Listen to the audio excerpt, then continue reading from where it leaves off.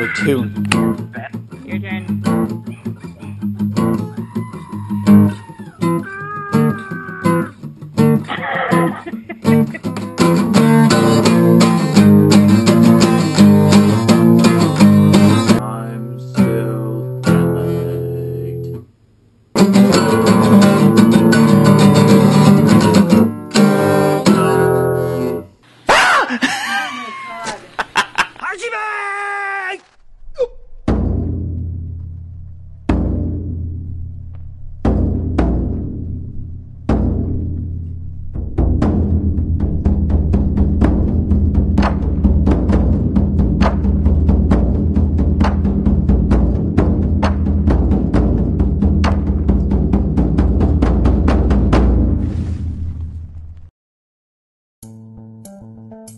Got back to the States from Taiwan and I forgot to convert my money back to American currency. But I got one souvenir while I was over there, and uh, look what I found.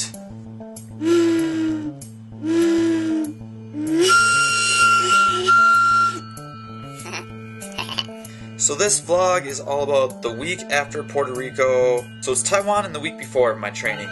Uh, so here we go. Alright, so we had another rough week of training because of juggling everything and I I really don't like how my training schedule has been. But you do with what you can. And I still haven't figured out that formula. Not quite yet. Same workout as last week, except now I'm at Hastings instead of Apple Valley.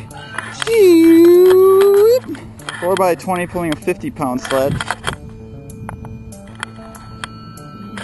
4 by 30 pulling a 25 pound sled. Now I'm gonna go 2 by 40 and 2 by 50 without a sled. See how those feel. Um, my acceleration day, I haven't been feeling very poppy anymore because of, you know, lack of the essentials like sleep and um, quality training. So I added a few plyos in there, and surprisingly, I'm like strong enough to do them, and hopefully they build a little bit more pop into my system. Uh, vaulting, I jumped with uh, the high school kids again because I couldn't find a time that would work with Steve and Caroline. Son of a bitch. Again, it went it went all right. Um, started working on some things, and uh, yeah, it's close to jumping five meters again from four, which um, is all right. You know, we were still working on just getting that pole open and aggressively throwing my arms down to my legs. And it started to work, and now I'm starting to think maybe I gotta aggressively swing my legs to my hands. We'll see. I don't know. Just ideas floating around in my head. There, look how deep we landed. We landed in the back of the square on that one. It's because instead of swinging, Uh, before I knew it, Friday was here. And I leave for Taiwan on that Friday. I got to the airport three hours early because when you travel with poles, you never know what's gonna happen. Here's how it always goes. Here's the air guy who checks you in at the counter.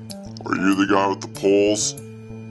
Yes, This is gonna be a huge problem. I figured. And they look at you and they look at the poles. Unless it's Southwest, I've never had issues with Southwest. You just show them the poles and they're like, oh, pull, pull, zoop, zoop, zoop, zoop, zoop, zoop. Boom, you're done. but I was flying United.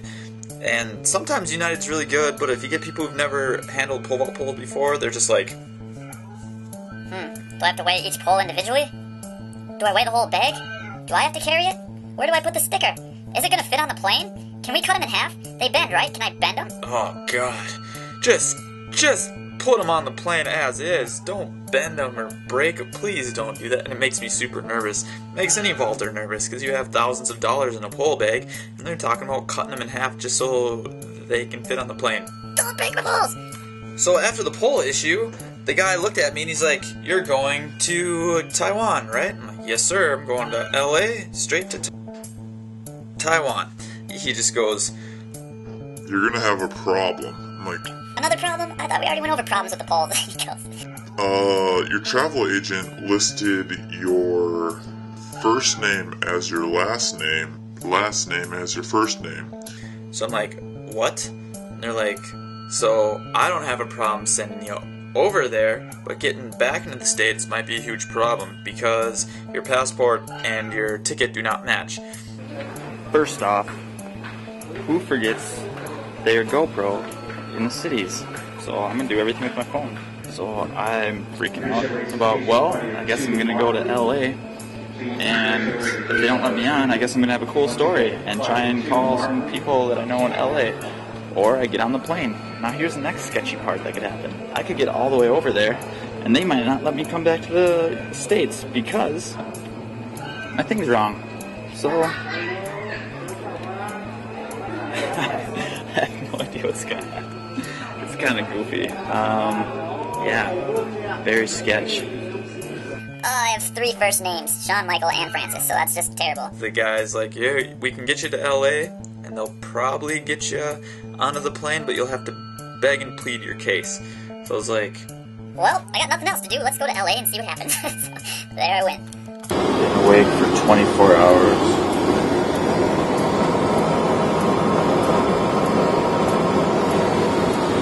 This is when I left you over there for Minneapolis. And he's hurt.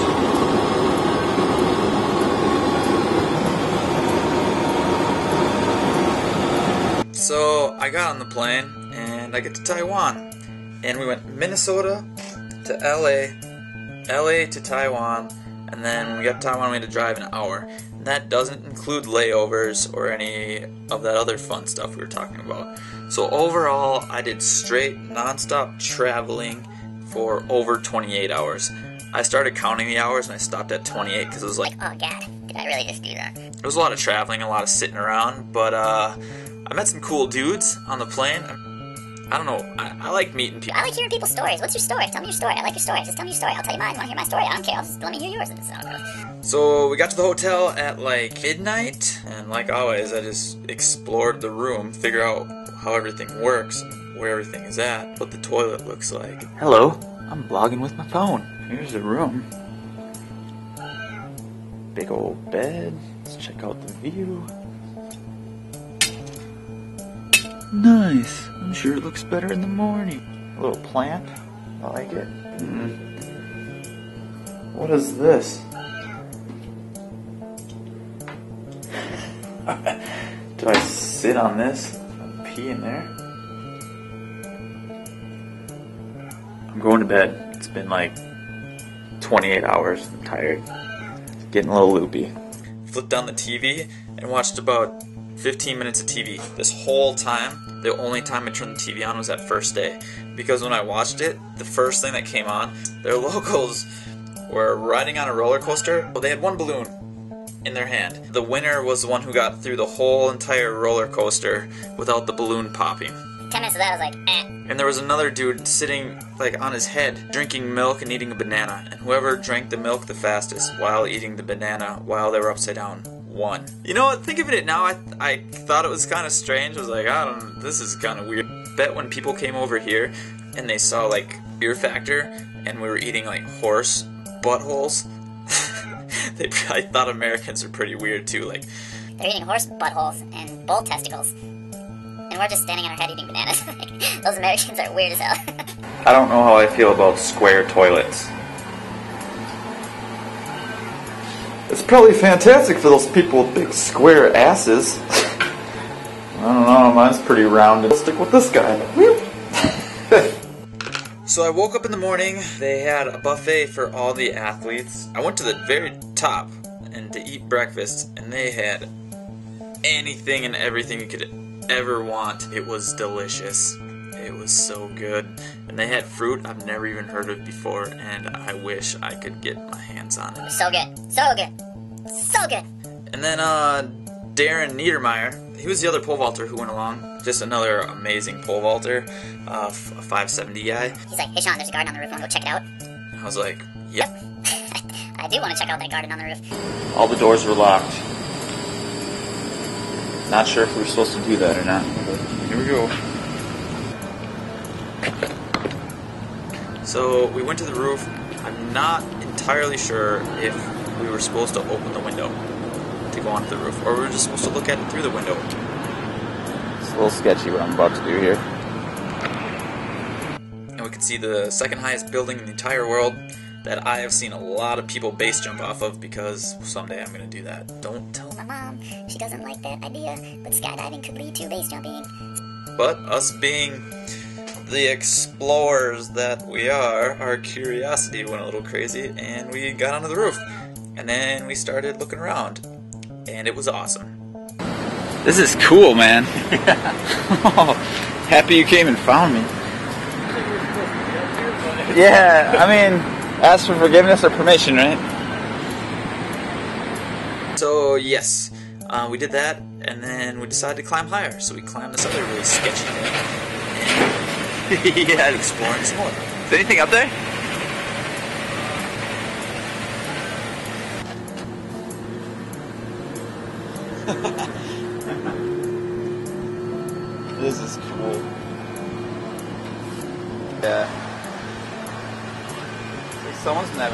Having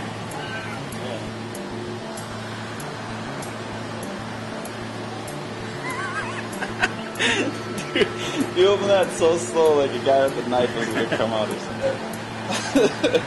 Then after that, we had to go to a, or we got to go to a press conference. I've never been a part of a press conference be- before. So we walk in and they're having us sign a bunch of posters and stuff.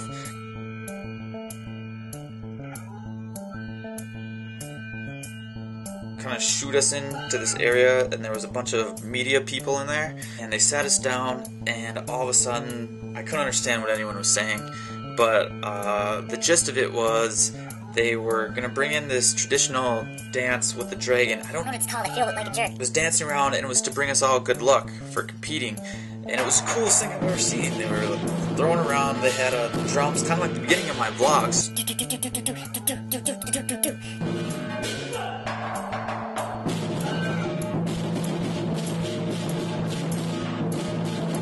I was just sitting there like This is the coolest thing I've ever seen in my entire life. And where do I get one of those? I want a big dragon. halfway through that, they introduced all the elite athletes, and I had no idea what this meet was even about. And I guess it was their national meet, is the Taiwan uh, Championships, but they have it open, so they invite elite athletes from all over the world to come and compete to try and influence their athletes for better performances. So the elite athletes like Darren Niedermeyer, and they had me for the pole vault. Then they had the Australian 4x1 team, which the Australian guys are some of the coolest guys I ever met. And then they were like, "Well, what do you think of Australia when you think of over here?" And I'm like, I think of dingoes and koalas and like Crocodile Dundee. Or you call that a knife? This is a knife. like, "No, that's a spoon, Oh, I've seen you play knifey spoonies before. crocodile hunter." Crikey! And they were like, "Yeah, it's nothing like that at all. That's what they feed us over here." It's like, "Well, what do you think about us?" And they're like, Is it like Honey Boo Boo? Or Swamp People? Is that what America's like? "Oh my God, you think Americans are like Honey Boo Boo and and swamp people?" We're not like that at all. And then they had like William Clay, Genevieve uh, Termal, and then Angelo Taylor. Right when we landed, I started making dick and fart jokes with this guy. I didn't know who he was. After I'm still kind of joking around with this guy, uh, I realize it's Angelo Taylor.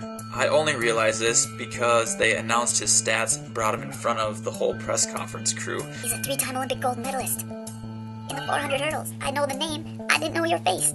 so, felt dumb again. Now looking back, it's like a blessing in disguise because if I wouldn't known who he was, I probably wouldn't have talked to him. I would have been too too nervous. So we're doing the whole press conference thing, and then we just warm up on the track, and I felt felt surprisingly good after sitting that long.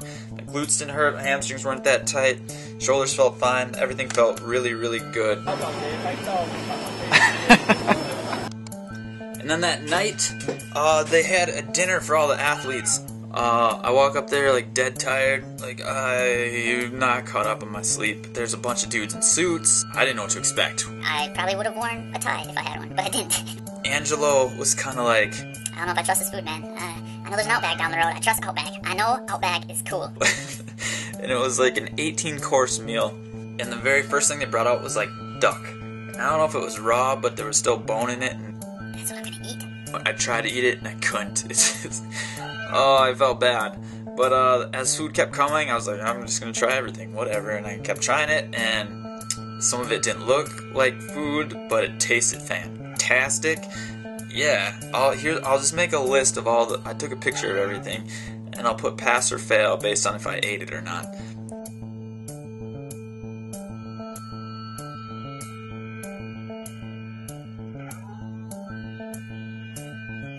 Oh! And right as soon as the entertainment started, like through our second course, they brought out a guy playing piano and a lady singing karaoke machine. And that's what they did for the entertainment. They had random people come up and sing karaoke.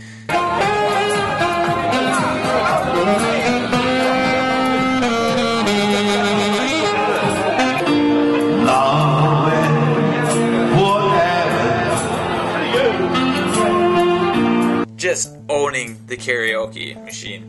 And then after a while, they talked Anthony, one of the Australian guys, to come up. they busted out a new song and they started singing My Heart Will Go On by Celine Dion.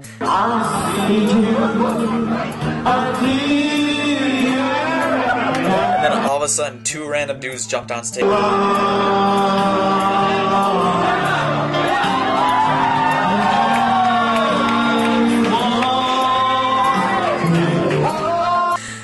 God, it was hilarious.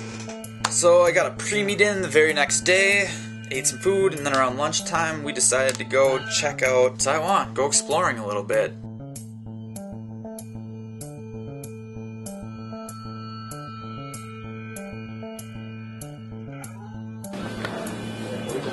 It's like 95 degrees, and I really want to eat some of that fruit right now.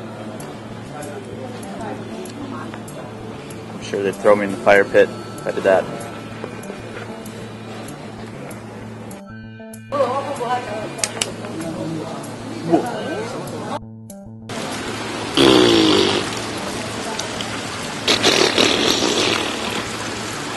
We saw some cool temples, and one of them there was this guy in there guarding. I don't know exactly what was going on because I don't speak or read their stuff, but um, we found one guy and he said these guys stand facing each other for an hour and they can't move or blink.